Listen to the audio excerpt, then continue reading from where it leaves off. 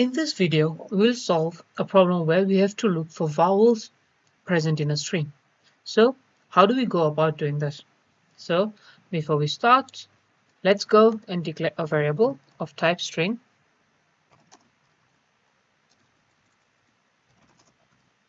And let's give it a text, hello world. So we'll need to go and check that does a vowel exist in this text. So before we do that, let's remind ourselves what are vowels. So we need to make sure if there is a e i o u present in this text right? So how do we go about doing this? So in order to do that we'll be using uh, true and false to do this. So we'll declare another variable called bow boolean and we need to check is vowel present right left name is is vowel present and this will help us to tell whether if there's a vowel in the text or not. And by default there is no vowels in the text. So in order to do this we already have a string. So we need to go through the entire string and see if there exists a vowel in that string or not. So in order to do that obviously we have to look through that right? So let's create a for loop and then we say int i is equal to 0 and i is less than the string dot length right? And then we increment the i. Okay okay so now that we go through the loop what do we need to go and do inside a loop? So we need to make sure that we go and pull out every character from the hello world string. So let's go and declare a character right?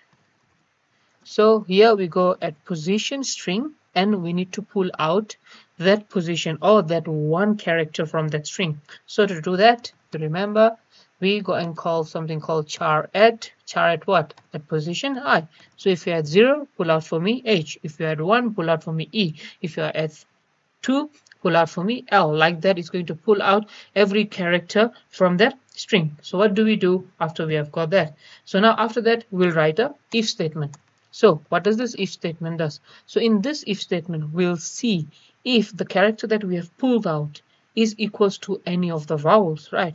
So what we'll do and say if that character is equals to A, right? Or if that character is equals to I, let's say E, let's go in order. Or if that character is equals to I oh if that character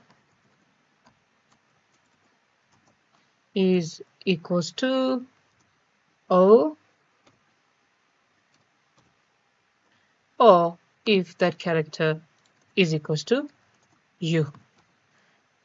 If that character is equals to U. So what should I do if these are equals to this? So if you found that if the particular character is equals to one of these vowels then you need to go and make sure that that variable is value present is equals to true. So from false it goes and turn that into a true. And then the moment you do that quickly break out of the loop. Stop the loop. Go and go and loop through the entire thing right? Because we found the first character. Let's say for instance we got hello world right? And we know e is a vowel right? The moment you found a vowel just break it right? You don't need to go through the entire uh, what do you call this variable uh, the entire string hello world and then go and check if there are any more vowel present. Because the question asks is there a vowel present? Even if there's one present the answer should be yes that's why the moment you found the first vowel, just quickly break the for loop and don't go and look through the entire thing because now we are wasting time because in the interviews, they do care about how much time it takes to run a program. That's why you quickly break this the moment you found a vowel. So after you break this, what do you do? You know that you have found your vowel. So we need to tell the user that if there is a vowel that exists or not. So we need to say is vowel present. So if it's true, then we're going to tell them that okay there exists a vowel so let's go and inform the user that hey so we'll tell them the vowel is present. We'll just say the vowel is present. Please don't judge my English. I'm a programmer. Then system dot out dot println. We simply say the vowel is not present. Simply that. If you made a v capital here let's make a v capital there okay so that's our program. What we did was we have a string. We loop through that string.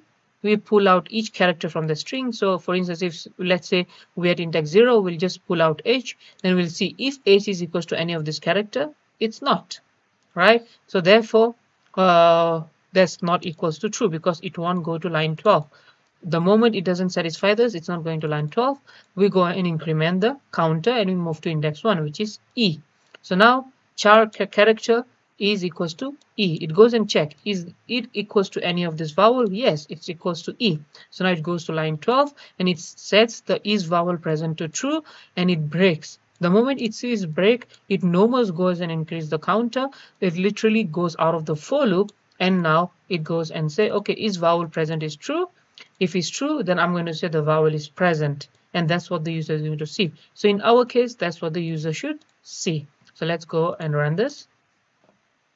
Once we run this, we can see the vowel is present. But wait a minute.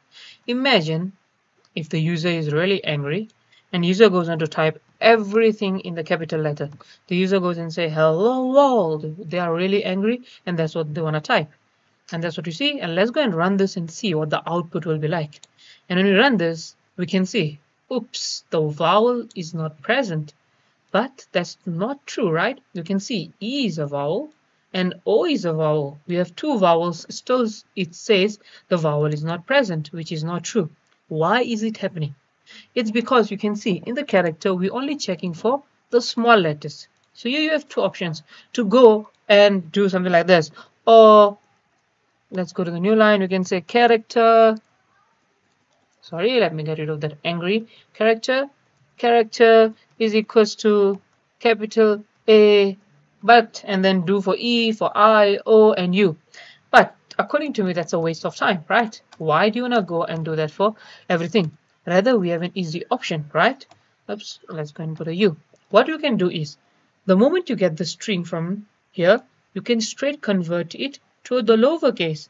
We got a function in Java or a method in Java that is called to lowercase. The moment you call this function to lowercase, what it does is it goes and takes this hello world and then it converts it to this. So now we don't have to go and write all the if cases again for the capital letters. So now simply if we run this program, now we should see a proper output. Once we run this, now let's say the output we can see the vowel is present and we can see now that is perfectly working. But we can't trust that. Let's write something without a vowel, right? Maybe B, C, D, right? None of them are vowel.